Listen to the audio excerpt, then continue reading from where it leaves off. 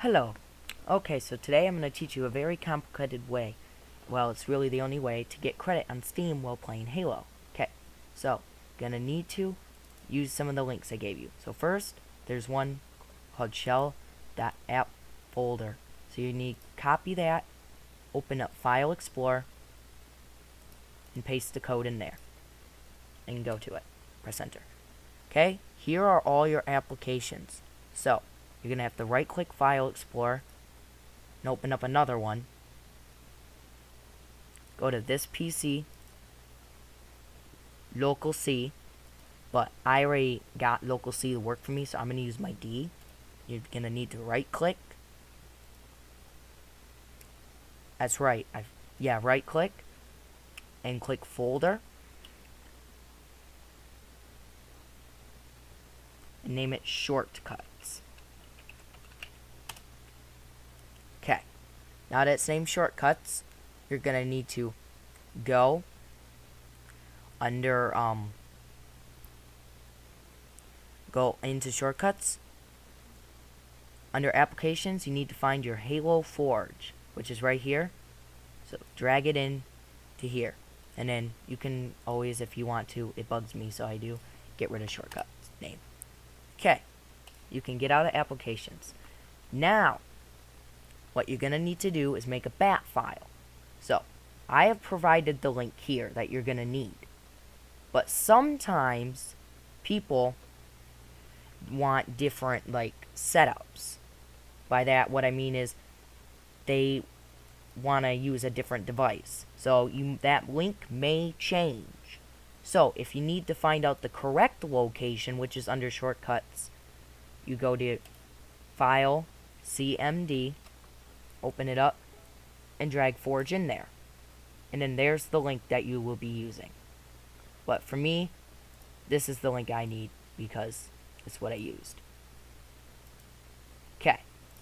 Now, what you're going to need to do is right click.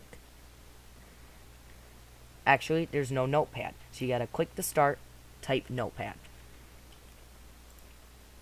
You're going to need to paste that in there. And you're also going to need one more code, which I forgot to add.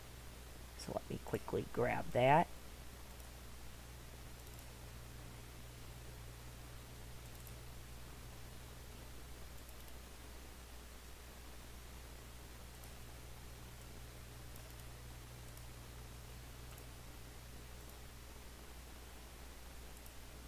You need to space down, double space, and put pause null, which keeps the application open. So you click File now, Save As, go under your device that you save short the shortcut folders to. Now you could name it the game. So it's Halo Forge 5. Or actually the other way around. Halo 5 Forge. And then you do dot bat, which is very important that you do that. Save it, and you can get out of there. Now, test the file. And for me, it works just fine. So, now I'm going to get out of the game. And this app command block here, once you close this, Steam stops recording your process. So, now that that's all set up, you need to convert it. So there's another link I provided in here, which is the the HTTP download CNET file to convert BAT to EXE. So you're gonna need to go under that to get it. So for me, I gotta copy it. Also, make a new make a new tab. Right click, say paste and download it. Now, wherever it downloads, you're going to need to find out that location.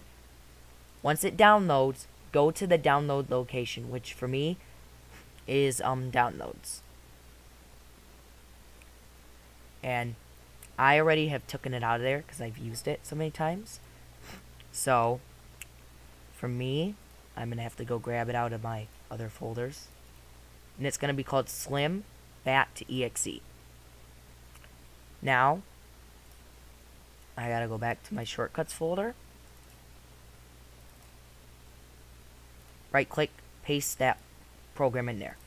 Open it up, Express, find it on your device, which for me is my D drive. Click open, and once it's done, it will put it right there, and it's very fast. So now the final thing you need to do is going to Steam. So, open up your Steam account. What you need to do is add a game, say it's an add non-Steam game. Browse, go to the following location where it is. For me, it's my D drive. Shortcuts, and click the exe file, open, add selected program, and then click play, and there you go. As you can see, it says now you have an you are in a non-Steam game Halo Forge and you still get credit. And then remember, if you close out of that application command, boom, Halo's gone. All it opens, though, is the Halo app, but if you click Halo Play Now, it looks like you're playing that game. So, hey, I hope this tutorial was helpful.